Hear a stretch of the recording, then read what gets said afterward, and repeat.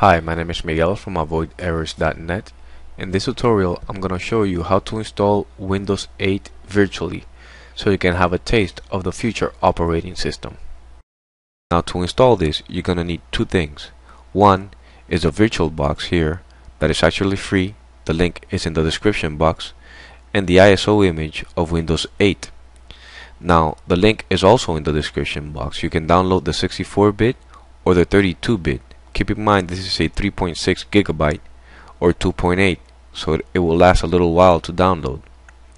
Now once you have installed and configured the uh, VirtualBox you just have to click on new and then click next on the wizard and in the version click on the drop down box and select Windows 8 depending on which version you have. This one is a 32 or 64 I have the 64 so I'll select this one. And then name it. I'm gonna call it Windows 8 and then click next.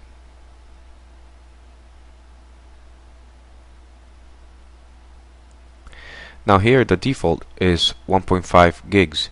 I'm gonna increase this to a 2 gigs. It doesn't mean that it's gonna use the 2 gigs. It's, it means that it's gonna use up to 2 gigs. And click next Now here I'm going to leave it default, create a new hard disk. Click next. Same here, I'm going to leave it default, virtual disk image. Click next. Instead of dynamic allocated, I'm going to select fixed size. Dynamic means you can change the size of the hard drive. Fix you can't. And then click next here I'm gonna leave this the uh, size 20 gigs default the same. But now the location since my hard drive is small you can leave it in the default location if you have a big hard drive. If not click on the little folder and select a different location like I'm doing here. I'm gonna install it on a different drive in my computer. Remember if you have a big hard drive you can always leave it in the default location and click next I selected a different drive and then click next my summary and then click create. This will take around half hour 45 minutes. So I'm gonna fast forward this here. This is uh, creating the uh, fixed uh, hard drive. Summary again. Now click create. And now our Windows 8 virtual machine is created. Just double click select it and click on start. And here in the first uh, run wizard click next. Now the media source is the ISO so don't forget the uh, location of the ISO when you download it. Click on the little folder and browse for the ISO double click and then click next. And then click on start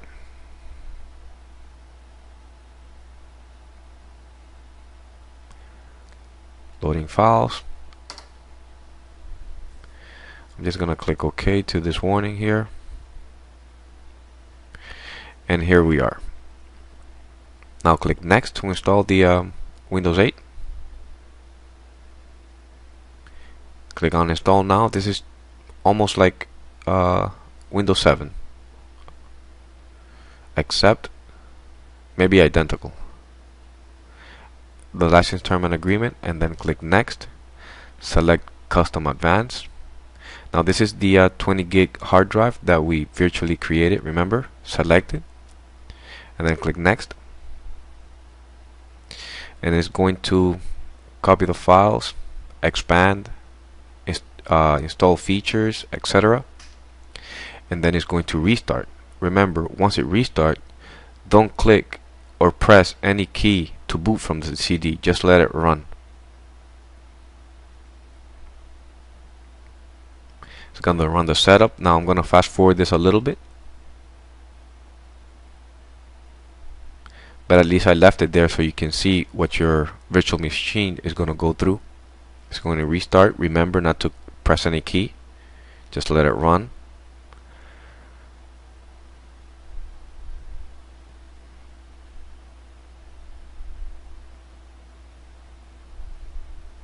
perfect. It's installed. Now here it, this should be easy. Just fill in the blanks. Plug in your live ID account. If you don't have one just click don't want to log in with my Windows Live ID and that's it.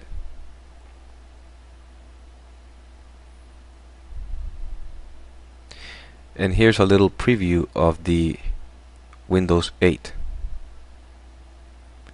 now uh, when you shut down the uh, virtual machine you have to disable the boot from ISO and here are the instructions.